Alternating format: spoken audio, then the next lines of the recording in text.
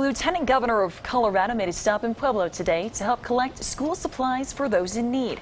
That's through the Colorado Annual Cares Day of Service. At the local Boys and Girls Club, he met with a handful of kids who are learning many important life lessons at a very young age. KRDO News Channel 13's Eric Fink was there.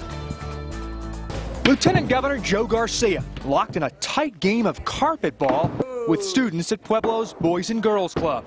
Oh, no. Ah, good game. Only weeks before classes start, the outreach program hosted a school supplies drive to give back to families in need in one of the most impoverished areas in our state. We have too many children living in poverty. There's no question about it. And these are children living in poverty even with working parents because incomes are, are low. The kids' focus may be on the blocks and games of dominoes. But the lieutenant governor focuses on enhancing these kids' education, who are the building blocks of tomorrow.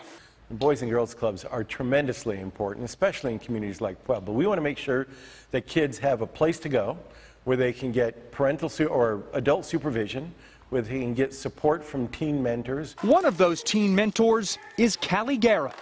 She has reaped the benefits here for 13 years. At 18, her time as a student is about to end. I've created a lot of friendships through the Boys and Girls Club, met a lot of community members. I'd miss being around everyone and being social. Callie knows this place changed her life, like it does for so many in any underprivileged community. One game of dominoes at a time.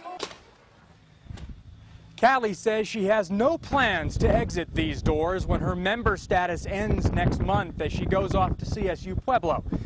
She says she will return here as often as possible as a volunteer.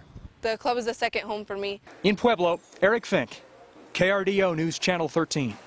The Pueblo Boys and Girls Club serves more than 800 kids in the community. The location will be accepting donations of all school supplies throughout the upcoming week. Neighbors keeping